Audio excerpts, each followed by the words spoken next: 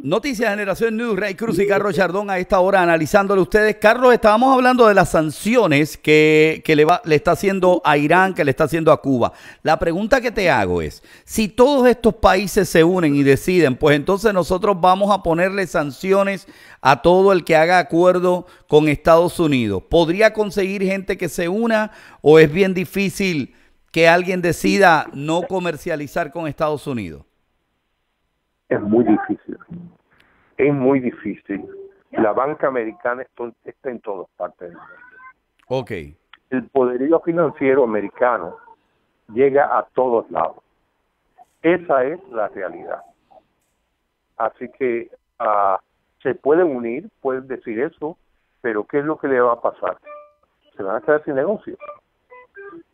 Porque el que haga negocio con Estados Unidos y e Irán diga, bueno, si tú haces negocio con Estados Unidos, yo no voy a hacer negocio contigo. Yo no te vendo oye, petróleo. Pues ya, ya, ya, oye, pero ¿quién es que le compra el petróleo? China. Ok. Sí, Turquía, que a, a, al final. Que está protestando. Al final, Estados Unidos es un mal, un mal necesario. Oye, definitivamente Estados Unidos es el, el, el poder hegemónico del mundo no es el único poder grande del mundo, pero es el poder mayor que hay en el mundo. Ok.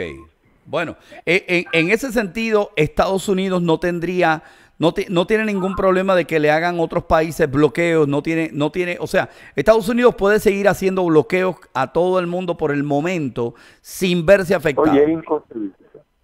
Es inconcebible cualquier bloqueo que haya. La misma Europa se ha dado cuenta que no le puede poner un bloqueo a Estados Unidos. Mira lo que hizo con la cuestión de las corporaciones. Pues sí, lo que le dio a las corporaciones europeas, si está, si una corporación americana, vamos a poner caso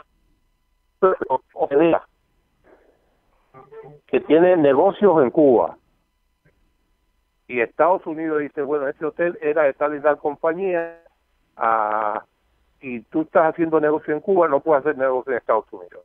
Ok. Oye, acepta, pero ahora, si España, si España tiene el poder de hacer eso, no. Ahora, la, la pregunta... La pregunta es, Carlos, si, si, me, si vemos todas las sanciones que está poniendo Estados Unidos, se justifica. O sea, porque de, de, un lado se ve bonito el decir, mira, ¿sabes qué? Tú Cuba, tú eres quien está manteniendo este estado dictatorial de Venezuela, entonces yo te tumbo to, todo, todo acuerdo contigo. O tú Irán, tú eres quien están apoyando a Hezbollah, estás apoyando a Hamas, pues yo te tumbo todo, todo poder. ¿Se justifica estas sanciones?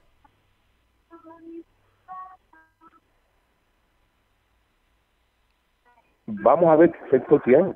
Hasta que tú no veas el efecto, no puedes decir si se justifican o no. Si tú lo que quieres es un efecto, vamos a ver qué es lo que tú quieres para justificarlo. De que sean efectivas.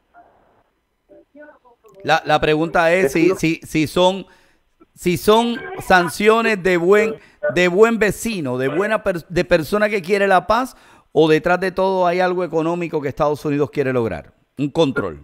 Pues acuérdate que paz viene de palo y tranquilidad viene de granja. Ok, ok. O sea que no, no es tan fácil. Bueno, vamos a ver. Esto es Noticias Generación News. Somos Rey Cruz, Carlos Chardón. A esta hora con ustedes analizando.